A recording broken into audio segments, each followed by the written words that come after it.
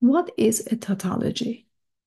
A tautology is a statement that is always true regardless of the truth values of the individual statement substituted for its statement variable. A statement whose form is a tautology is called a tautological statement. A contradiction is a statement that is always false. So let's go over a couple of examples for tautology and contradiction. Show that the statement form P or not P is a tautology, P and not P is a contradiction. So good to remember these two examples, P or not P, P and not P. One of them is connected together by or, the other one is connected by and. So first of all, let us create the very first row. You have P, you have not P. P and not P are connected together by OR. P and not P are connected together by AND. Very good. So P can be true, not P is false. True or false is true. True and false is always false. If P is false, not P is true. False or true is true. False and true is false. So as you can see, P or not P, regardless of the values for P, not P, is always true. So it is a tautology. P and not P is always false. So it is a contradiction. If T is a tautology and C is a contradiction, we want to show that the combination of P, any statement, and tautology is the same as that statement, and the combination of P, that statement, with contradiction using and is always a contradiction. So first of all, let us form our first row. P, tautology, P and tautology, which is this statement here, and then P, contradiction, which is a statement that is always false, P and the contradiction.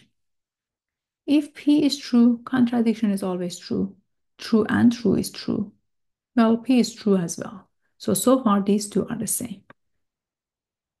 Contradiction is a false statement. P, which is true, and false is going to be false. So, so far, contradiction and P and contradiction have the same truth values. If P is false, contradict the tautology is always true and contradiction is always false. False and true is false, and since P is false, and we see that they are equivalent to each other. And as we mentioned before, since contradiction is always false, false and false is always false. So as you can see, these two are the same. So basically, they have the same truth values. So P and tautology is always replaceable by P. P and contradiction is always replaceable by contradiction.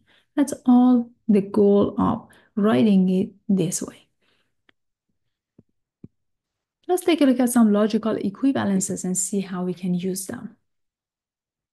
Given any statement variables like P, Q, R, a tautology like T and contradiction like C, the following logical equivalents are always true.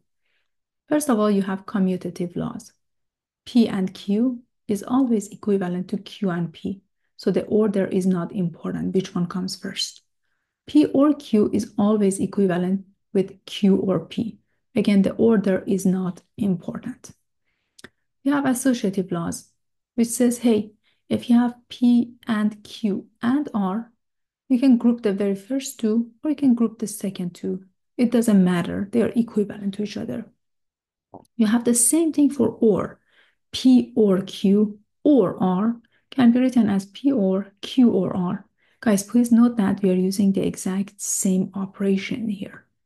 It's not distribution, it's association. We are not changing anything. All of these are AND, all of these are OR. Next law, number three, is distributive laws. You can distribute and over or. P and Q or R can be written as P and Q or P and R. You can distribute and over or, and also you can distribute or over and. P or Q and R is P or Q and P or R. So this is called distributive laws. Identity law says P and tautology is the same as P. P or contradiction also is the same as P. Negation laws, P or not P, is tautology. P and not P is contradiction. Double negation law that we saw before at the beginning of the course, the negation of negation of P is the same as P. Idempotent laws, P and P can be replaced by P, P or P can be replaced by P as well. Universal bound laws that says, hey, if you combine P tautology using or, is the same as tautology.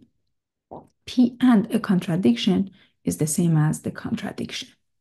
So these are all replaceable.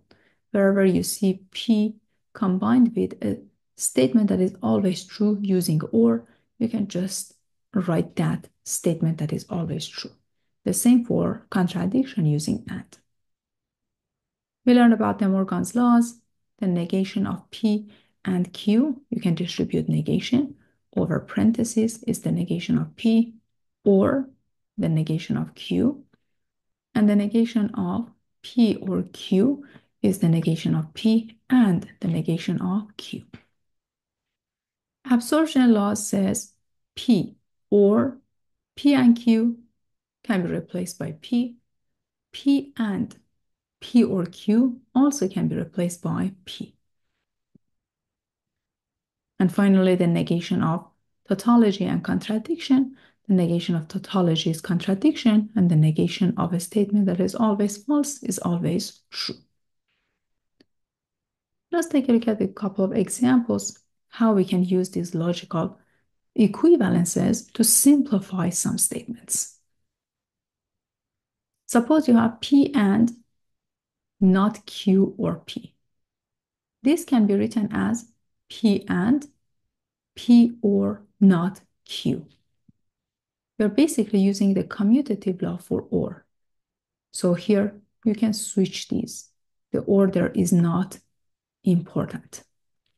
Now remember the absorption law. The absorption law says, hey, P or P and Q is the same as P. P and P or Q is the same as P. So let's see what's happening here. I have P and P combined with some other statements, all right? It doesn't matter if it's not Q or Q. This is just a statement. You can call it R, anything that you like. So by using absorption law, it must be equivalent to P. So this statement on the left-hand side is nothing but a simple statement P.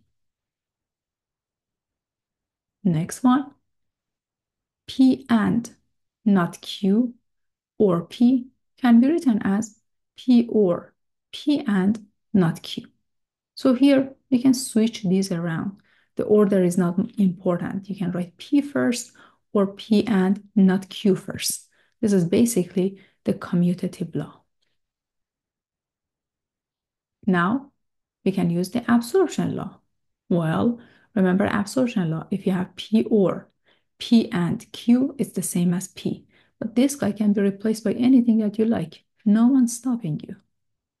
It can be R or any other statement. So it is a simple statement P. So the statement on the left-hand side is nothing but a simple statement P. Our goal is to use this equivalent statement to rewrite complicated or more complex statements like this.